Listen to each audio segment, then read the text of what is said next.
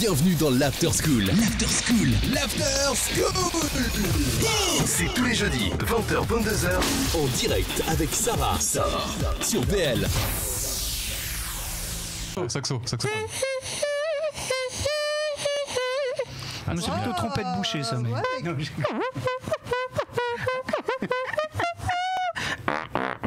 Waouh.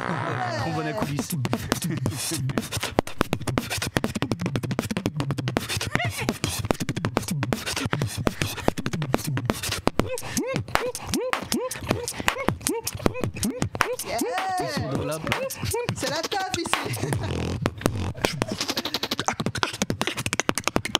Il y a Davodka qui a envie- Davodka, il a envie de Ah, c'est le freestyle. genre, difficile, c'est le c'est- genre, c'est le genre de mec qui peut te faire euh, carrément faire euh, mettre en faillite euh, une usine d'en- d'enceinte ou, ou de chanifi. hein. Tout ce qui est corde, Non, justement, il me faut des chaînes ici, c'est plus les instruments, Ouais. j'avoue que. tout ce qui est corde doit être un peu plus difficile, non? Tout Est-ce ce qui est violoncelle, violon, non? Alors c'est vrai que c'est vachement compliqué parce que c'est un timbre particulier, mais il y a des cordes. Par exemple, j'ai euh, la sitar. Ouais. J'aime bien faire celui-là. Ah oui.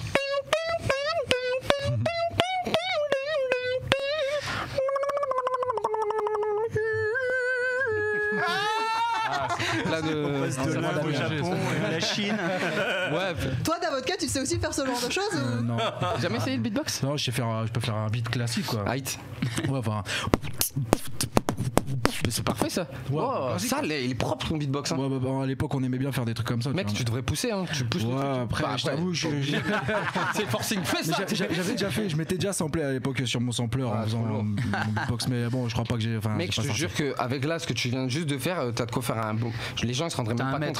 Si tu prends un bon micro, tu fais le beat bien propre, tu traites le truc, euh, tu vois, tu connais les cues et tout. Franchement, là, avec ce que t'as fait, t'as moyen de faire une prod. hein. Bon, bah. Juste au moins le beatbox. Après, je te laisserai faire alors.